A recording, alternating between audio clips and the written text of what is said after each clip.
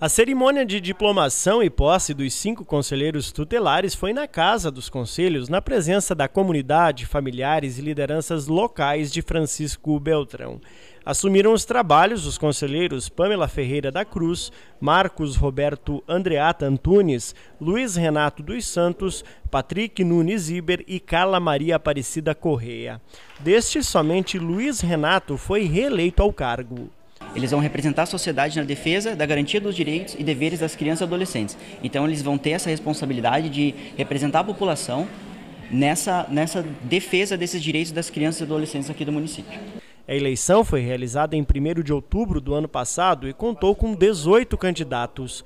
O voto não é obrigatório, mas teve a participação de quase 5 mil eleitores. A gente vê de uma forma positiva, porque é, a princípio a população acompanhou mais o processo, né? Eles estavam mais a par do que estava acontecendo, teve uma repercussão maior até pela questão das redes sociais, né? Então, todo mundo mais engajado, acredito que tem influenciado nisso.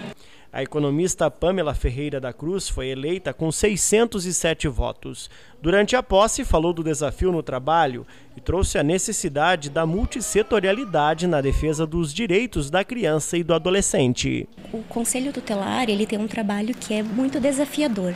Né? Então, é, o conselheiro tutelar ele precisa trabalhar a intersetorialidade, trabalhar o diálogo com as políticas, né? com a saúde, educação, assistência social, né? ter um bom diálogo com os técnicos, com as famílias que nós vamos atender, as crianças, os adolescentes.